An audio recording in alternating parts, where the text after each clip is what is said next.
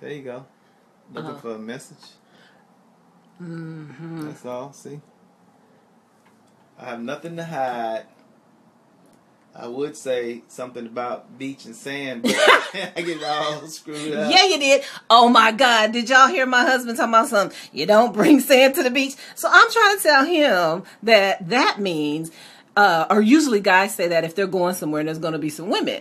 And the guys are like, dude, you ain't going to bring your wife or your woman. And he's like, nah, you don't bring sand to the beach. This crazy man of mine said, first of all, that that's his saying, number one. I don't know why he thought that. I've been hearing that for years. In my context, and then, mine. yeah, you got that right. Cause don't know I changed it. And then he says, uh, you don't bring sand to the beach means you're my beach. And I was like, ah, people gonna think you're saying something else, number one. And what, how you define that, babe? You're my beach. I, and I you- don't, If you if, if you have a beach and it's got sand, why would you go to another beach and bring sand to that beach? That's all I said. come on, y'all. Y'all ever heard that before? Oh, They know what I'm talking about. Did nobody know what he's talking about? Did y'all see our video where we was trying to reply to that girl when she said, "What's the secret to your marriage?"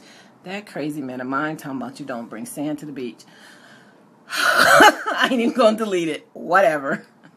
Whatever, you'll get some comments. That's what you want. You get some feedback.